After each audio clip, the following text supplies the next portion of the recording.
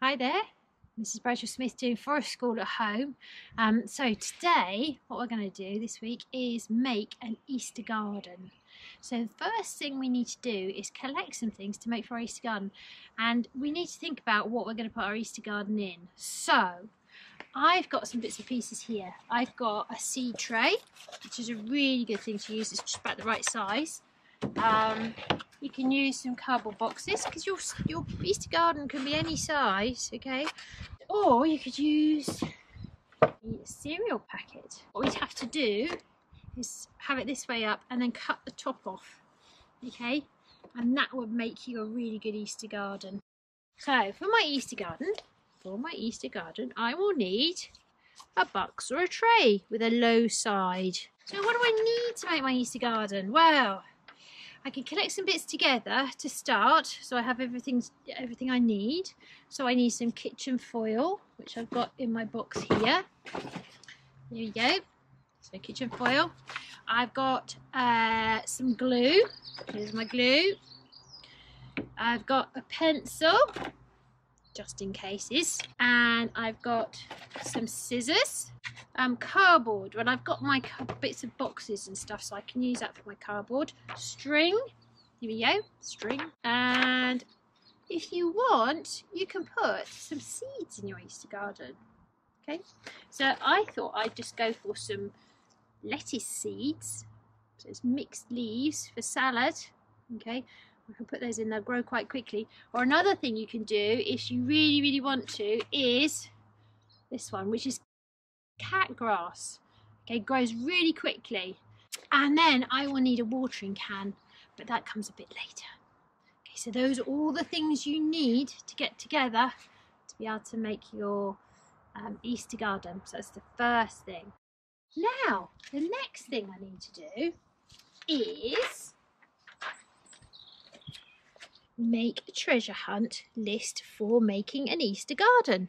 I thought it would be really nice if we did a treasure hunt to collect all the things because we've done treasure hunts before so we can do one that's got um, something to do with our Easter garden. So let's see what could I have? Find five things. One two three four five. And something special. I've got a list here.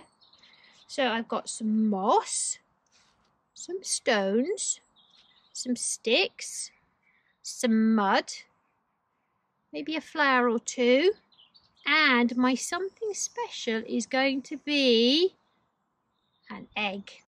Okay, so I've got a pen because what I'm going to do is when I find these things, I'm going to tick them off and I might write how many things I found. So I brought my tray with me because I'm going to put the things into my tray once I've collected them. I think I can probably find all those things just in this little spot here. So let's have a look.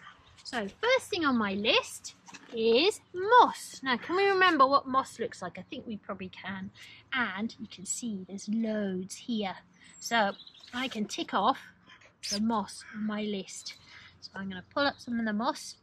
Four clumps of moss. And I've got some little plants in there as well. And maybe five, I think. Five should do it. And that's kind of covering my tray, isn't it? I'm going to have some stones and things as well.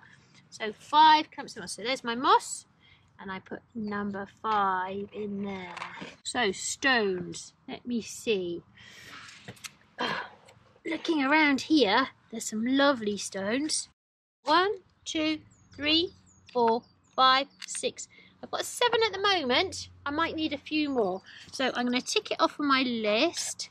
And I got seven in there. Okay. Now, next thing on my list is sticks. So, what I want the sticks for is to make some crosses for my Easter garden. I've got one here, but I can't pick that one up because look, it's still got some roots on it. And so that would actually kill that, that stick off. Okay, so it's still growing. But look a bit closer, there are some other sticks here. Okay, I wonder if you can guess which tree they've come from. Okay, there was a bit of a clue on the ground. Did you notice it? What's this? A pine cone, one of those big long ones, and behind it there's some branches with pine needles on. So those are pine sticks. To make my cross, I need one like this, and then I'm going to put the other one across like this. two sticks. I can tick that. I can put two in there. Mud. That's the next thing. I need quite a lot of mud, I think. Oh, what did we find? Wow, that's a millipede there. It's in the soil.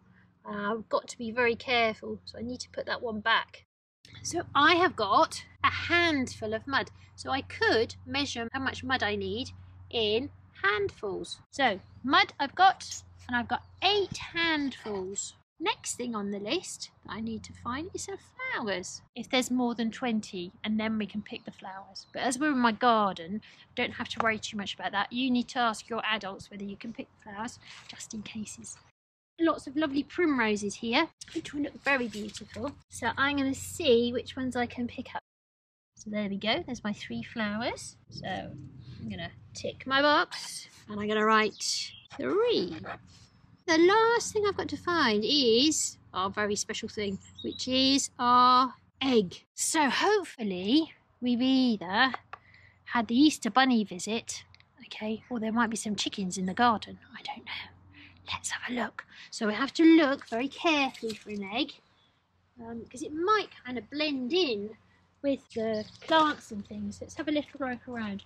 Ah, well, I found a pine cone but that's not an egg, is it? Hmm. And some grass here growing. And some little forget-me-not plants and some more primroses.